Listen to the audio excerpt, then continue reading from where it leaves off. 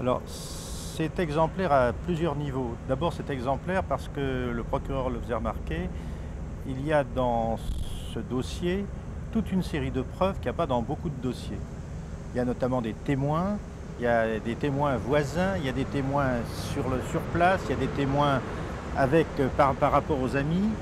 Euh, il y a également des constatations médicales très précises.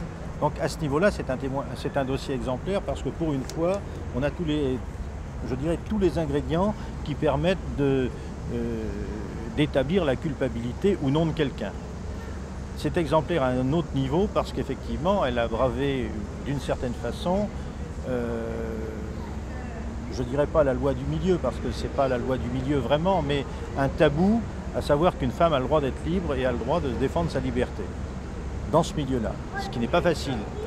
Et euh, ça n'a pas été évident. Hein. Non, non, au départ, vous en rappelez, je vous l'ai dit. Oui, oui, au départ, vous l'avez dit. plainte euh, et tout, j'étais pas bien.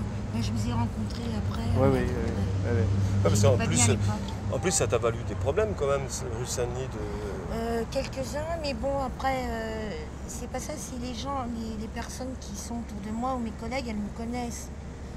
Donc elles, elles, se sont toutes dit, tu d'abord tu, en as vu deux, trois là qui étaient là, euh, elles se sont dit, si Monique, au moment où elle a été jusqu'à ce point-là, c'est que vraiment il le fallait. C'est qu'elle ne pouvait pas faire autrement. je ne pouvais pas faire autrement. Ce qui lui, a permis, ce qui lui permet de s'affranchir par rapport à tout ce milieu, c'est qu'elle a une personnalité assez particulière.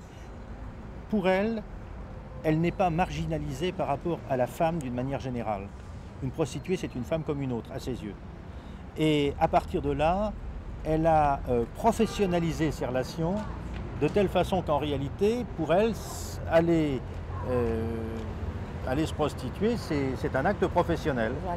Une fois qu'elle a pris sa douche, elle a l'impression euh, qu'elle est une femme comme une autre. Je lui ai fait remarquer, je ne le pense pas. On n'est pas d'accord là-dessus.